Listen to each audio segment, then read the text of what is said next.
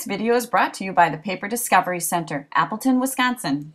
This video will provide an example of how to make a book with a toothpick binding.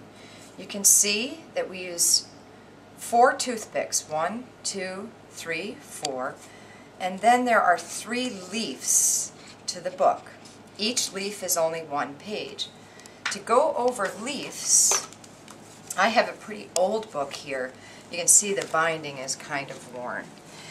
But what you'll see is that each, there's like groups of folded leaves in this book. Okay, if you look at the book, here's the page number up on the top, 32, 33, and if we continue, 34 would be the next one. But down here at the beginning of this leaf, there's a binding signature number. So this would mean it's the third leaf of the book. If I go to where the next section is, the binding signature would be a 4. And it would continue on, it would be a 5. Sometimes they are numbers, but other times they are letters.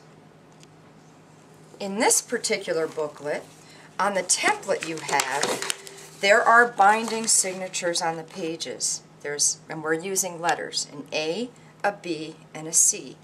So what that means is this cut in half, this little section, would be folded as one leaf A.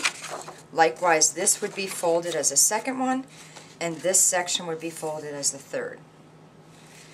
You have a template that has pages where you copy it front to back, and it's all set up to line up exactly. And this would make one book, and then just so we don't waste paper, we duplicate this so that this you'd need half as many of these because you're getting two for every page you print off.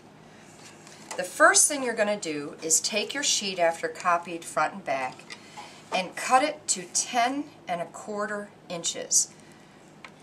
Cut that down and we're going to cut the next one down to 10 and a quarter inches. And then what we're going to do is cut those in half to 5 and an eighth or that also comes out to be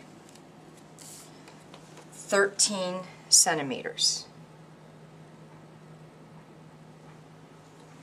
And so we'll do that with the other one where we have a duplicate. 5 and an eighth. Cut that down.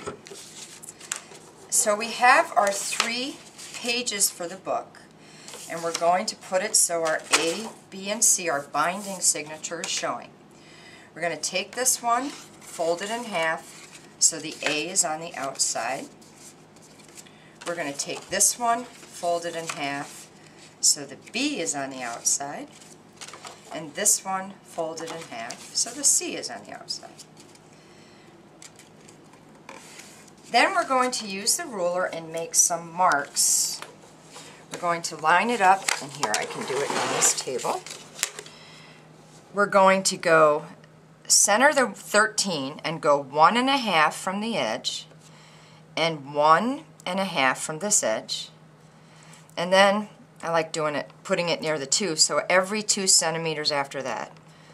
Two centimeters, two centimeters, two centimeters, two centimeters, and then two centimeters again. Then you're going to take a hole punch, line it up so it's making going to make a centered semicircle on each of those points.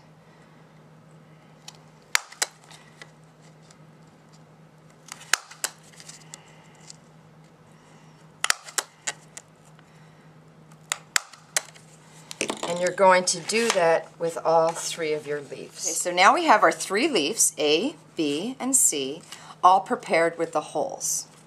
And now we're going to take the A and B leaf together and we're going to start the binding. And this is like a weaving process. You're going to go in to one on the A leaf and then switch to the B leaf for the next one.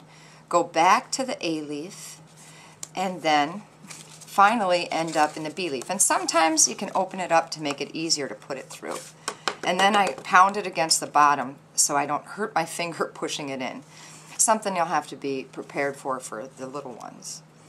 Then what you're going to do is bring up the C leaf and you're going to go in the B leaf and then weave it through the C leaf back to the B leaf. And again, if it's hard to get through, don't worry, just open it up a little bit so it can go in there easier. And then, again, kind of push it down to go back. So there's two, and then you're going to do the other side. You're going to go, and this now is back to the A leaf. I'm going to start there, to the B leaf, to the A leaf, back to the B leaf, and this last one is the toughest to get in because you're also worried about hurting, you know, your fingers hitting the point.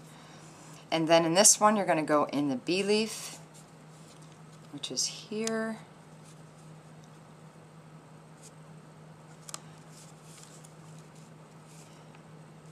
Into the C leaf,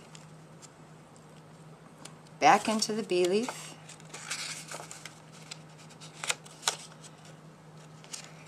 we can get it.